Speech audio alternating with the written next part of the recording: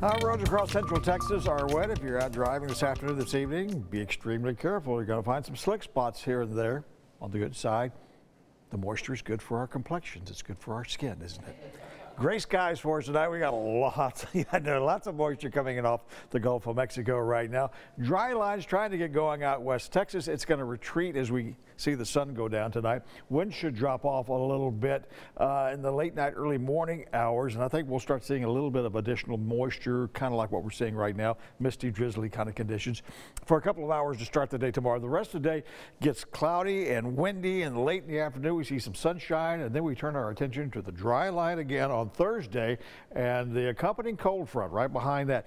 That's going to come in late Thursday night for you and me here in Central Texas. It's going to fire off a few showers and thunderstorms, possibly severe out in the big country, the Concho Valley. That's the Abilene to San Angelo area and northward towards Wichita Falls for that matter as well on Thursday afternoon. Here, the timing on that stuff should probably be late Thursday night into Friday morning. In fact, we probably stand a better shot at rain on Friday morning. Right now, it is drizzly, misty conditions, 65 degrees at the airport, 100% relative humidity, so we are saturated. So overnight tonight, as the winds continue out of the south, they're not going to see a whole lot of temperature change, but it's gradually getting warmer. We're going to be in the mid 60s first thing in the morning with afternoon high temperatures tomorrow, uh, maxing out into the low 80s.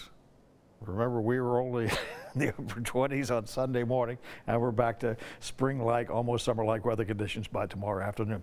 For tonight, overcast skies, windy, damp, 64 the overnight low. Winds will be out of the south, 15 to 20, and gusting to better than 35 miles an hour. Times overcast tomorrow as well, but we should start seeing some clearing going on in the afternoon. Still hanging on to very strong west south winds, 15 to 20 and gusty.